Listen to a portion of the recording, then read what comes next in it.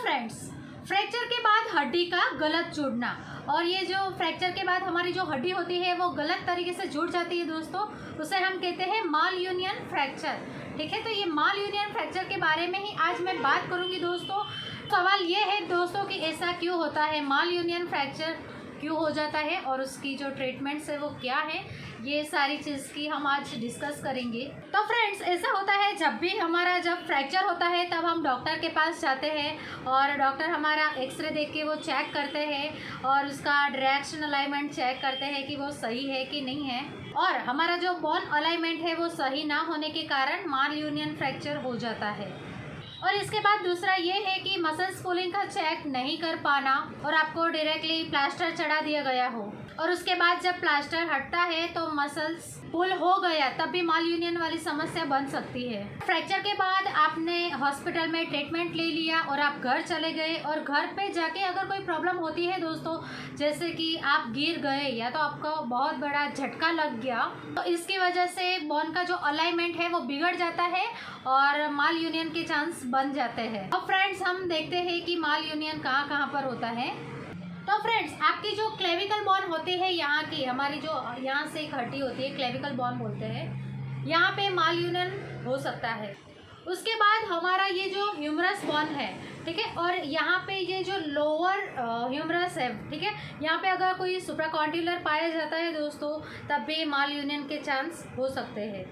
क्योंकि यहाँ पे सुप्रा कॉन्टिलर होने की वजह से यहाँ का जो बॉन की जो अलाइनमेंट है वो सही नहीं होती है दोस्तों तो भी इसमें माल यूनियन बन सकती है। कोई डेफोर्मेटिव प्रॉब्लम्स हो सकता है।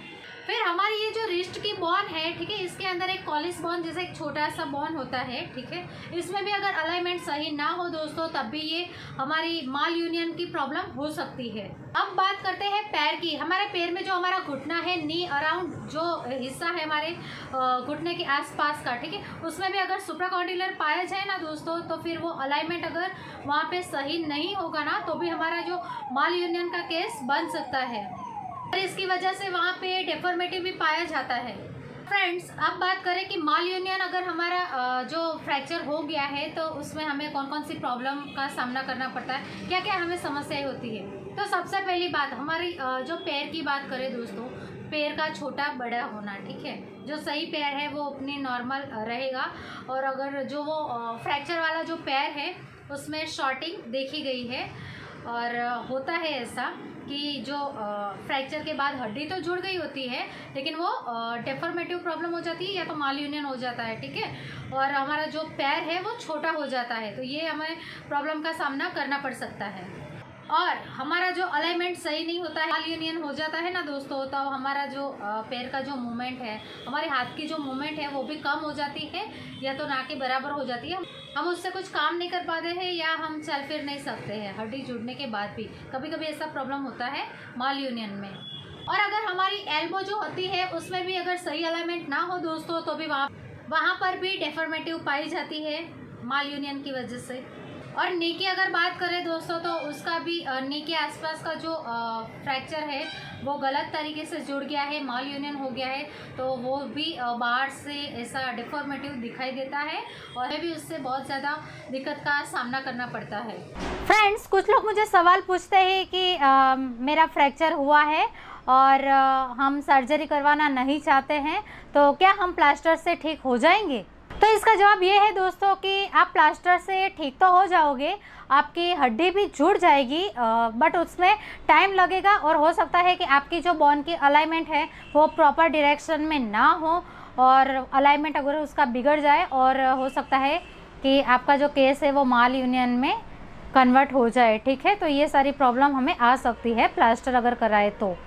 तो इसमें दोस्तों, अगर हम सर्जरी नहीं करवाते हैं और प्लास्टर करवाते हैं, ठीक है तो हो सकता है कि माल यूनियन फ्रैक्चर हमारा हो जाए या तो फिर डिफॉर्मिटी भी आ जाए। इसलिए सबसे पहले अगर आपका फ्रैक्चर हुआ है तो आप अपने डॉक्टर को सुने, समझे और उनको फॉलो कीजिए कि वो आपको क्या कहना चाह रहे हैं, फिर आप डिसीज़न लीजिए। अब फ्रेंड्स, बात करें माल यूनियन फ्रैक्चर अगर हमारा हो गया है तो इसका ट्रीटमेंट क्या रहेगा? कुछ डिग्री में आपका जो बॉन है वो थोड़ा सा गलत जुड़ गया है और थोड़ा सा माल यूनियन हो चुका है तो उसमें आपको कोई विशेष ट्रीटमेंट की ज़रूरत नहीं पड़ती है। थोड़ा बहुत अगर डिफॉर्मेटिव है या थोड़ा बहुत माल यूनियन फ्रैक्चर है दोस्तों तो उसमें समझ में नहीं आता है, ठीक है? तो इसमें आपको कोई विशेष ट्रीटमेंट की ज़रूरत नहीं है। लेकिन फ्रेंड्स, कुछ डिग्री में ज़्यादा अगर दिखाई देने में बहुत ही बुरा लग रहा हो और डिफॉर्मेटिव आ गई हो जैसे कि पैर बहुत ही छोटा हो गया हो दूसरे पैर से और उसमें मूवमेंट में भी अगर आपको दिक्कत आ रही है और फुल मूवमेंट नहीं आ रही है, फिर वहाँ पे ऑपरेशन की ज़रूरत पड़ती है ऑपरेटिव प्रोसीजर करना ही पड़ेगा। माल यूनियन फ्रैक्चर हो जाता है ना दोस्तों तो माल यूनियन में हम ऑपरेटिव जो हमारी प्रोसीजर्स होती है, उसमें एक प्रोसीजर के बारे में मैं आपको बताऊँ कि एक प्रोसीजर से कैसे ट्रीटमेंट होता है। तो उसमें माल यूनियन वाले जो हिस्सा होता है दोस्तों, वहाँ पे फ्रैक्चर किया जाता है, उसके बाद वहाँ पे प्लास्टर लगा दिया जाता है। बॉन का सही अलाइनमेंट करके वो प्लास्टर लगा देते हैं। ये प्रोसीजर ये ट्रीटमेंट लेने के बाद आपकी जो हड्डी की जो अलाइनमेंट है, वो सही हो जाएगी, वो सही अलाइनमेंट में जुड़ेगी। और हड्डी की जो नॉर्मल पोजीशन है, वही नॉर्मल पोजीशन वापस आ जाएगी। और ये जो प्रोसीजर का जो यूज़ होता है, वो सभी हॉस्पिटल में नहीं किया जाता है। कुछ हो हॉस्पिटल ऐसी होती है दोस्तों कि जहाँ पे ये टेक्निक यूज़ होती है। दूसरी, अगर मैं प्रोसेस के बारे में बताऊँ दोस्तों तो दूसरा ट्रीटमेंट का प्रोसीजर है रीडूइंग द फ्रैक्चर सर्जिकली ये जो प्रोसीजर होती है ना दोस्तों, वो हमारी जो लंबी हड्डी होती है ना, उसमें ज़्यादातर किया जाता है। इसमें क्या होता है फ्रेंड्स इसमें ऐसा होता है कि आपका जो फ्रैक्चर वाला जो पार्ट है, उसको एक्सपोज किया जाता है। एक्सपोज करने के बाद वहाँ पे जो बॉन का जो अलाइनमेंट है, वो सही करके कुछ इंटरनली इम्प्लांट लगा दिए जाते हैं। उसके बाद वहाँ पे बॉन ग्राफ्टिंग की जाती है और उसके बाद आपके फ्रैक्चर के आसपास प्लास्टर लगा दिया जाता है। ये ट्रीटमेंट से आपकी जो हड्डी है, वो धीरे धीरे अच्छे से जुड़ जाती है सही अलाइनमेंट में और आप नॉर्मल पोजिशन में वापस आ जाते हो। तीसरी प्रोसीजर की अगर मैं बात करूँ, तीसरे ट्रीटमेंट की माल यूनियन के लिए तो ये प्रोसीजर ऐसा है जिसमें हमारी जो माल यूनियन जहाँ पे डिफॉर्मेटिव थोड़ा सा प्रॉब्लम हो जाता है, वहाँ से बॉन काट लिया जाता है।